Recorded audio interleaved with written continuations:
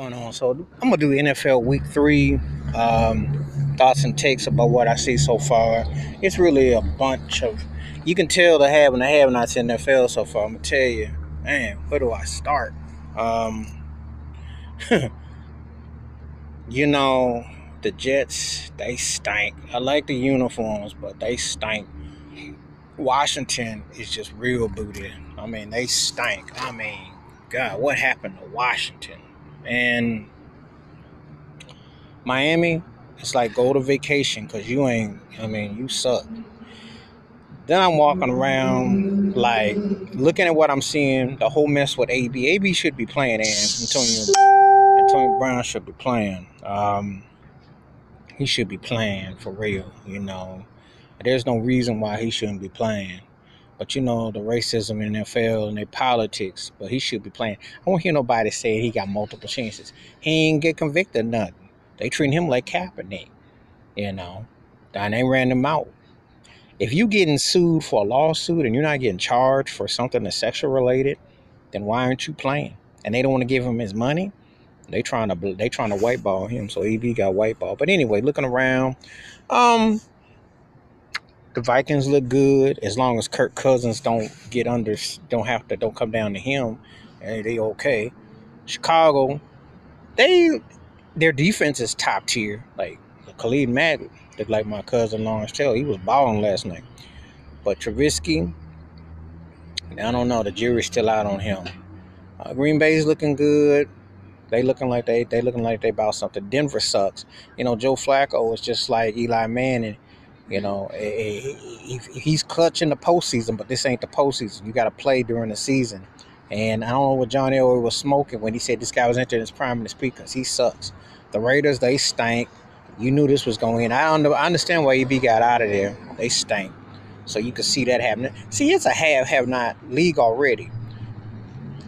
Um, the the Giants, Daniel Jones looked good against, but they play Tampa Bay. That don't count.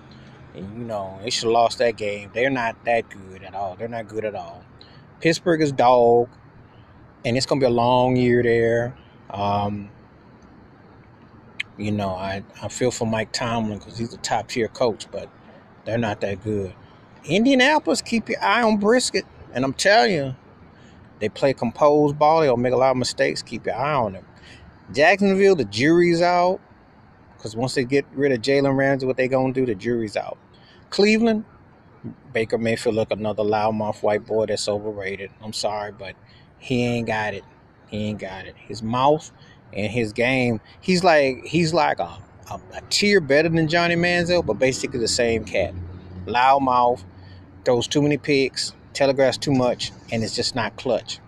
And he, and all these quarterbacks throwing off their back foot and trying to I don't know what they doing. Stop trying to make it trying to throw drops up there. That's the problem I had with my Bills because Josh Allen was trying to throw them teardrops. Yeah, Buffalo's 3 0, but he got to step it up. Our defense is on point, but he got to step it up against New England this week. Patriots still look like the Patriots. They took their foot off. They they was waxing on the giant the Jets. Uh, wasn't surprised by New Orleans beating Seattle because I think Seattle ain't got no defense. Russell Wilson is gangster, but he ain't got no receiver. If you ever had a top tier receiver, you'd see some crazy numbers. But Seattle's defense is lame. Saints ain't gonna fall as much off without Breezy as people think.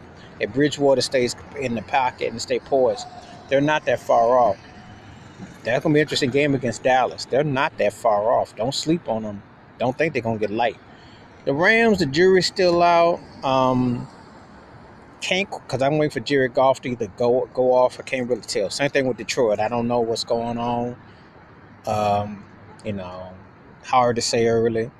Kyler Murray, Arizona, he's still a rookie. You can still see he's green, but he's going to be interesting. The promise. Patrick Mahomes is the best quarterback. That's not not named Tom Brady, and the best quarterback in sense that uh, if you take jury out the equation, he's something special. Told you the Steph Curry of quarterbacks. Keep eye on Mr. Mahomes. Kansas City got a chance to be the next dynasty in the NFL if stay healthy. Everybody, and he don't even have Tyreek Hill Keep eye on it. Keep eye on it. Cincinnati stinks. I can go down by. There's a lot of garbage teams in NFL. You can see it right now. So, you know, I don't know if I'm gonna go by case by case. Dak Prescott is balling. He should get paid. I don't know how good the Cowboys really are, but Dak is balling.